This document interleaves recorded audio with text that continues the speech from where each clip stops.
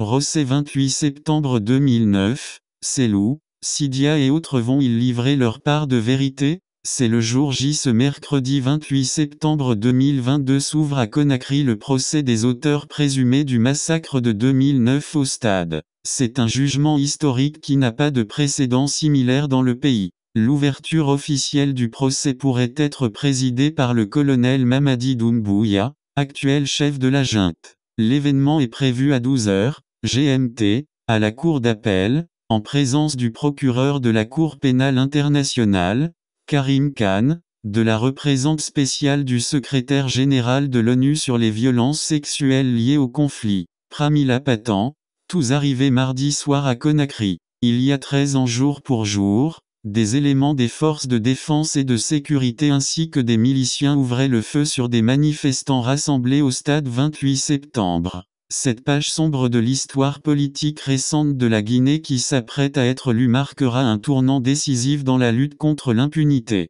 À l'appel des forces vives qui protestaient contre une éventuelle candidature de Moussa Dadi Camara à la présidentielle de 2010, des centaines de milliers de Guinéens, menée par des leaders politiques comme Feu Jean-Marie Doré, Sidia Touré, Selou Alain Diallo, Baouri, Mouktar Diallo, Dr Mohamed Diané, etc., avaient convergé dans le stade de Conakry. La manifestation était interdite par la junte militaire d'alors. La répression sanglante de ce rassemblement avait fait plus de 150 morts, 109 femmes violées, des milliers de blessés et des dizaines de portées disparues. Ce bilan effroyable dressé par des experts de l'ONU qui avaient une enquête sur les crimes a suscité une onde de choc. L'information judiciaire ouverte en 2009 a abouti à l'inculpation de 12 personnes, mais 11 seront ce mercredi dans le box des accusés. L'action publique s'est éteinte pour le général Mamadou Batoto Camara décédé il y a un an.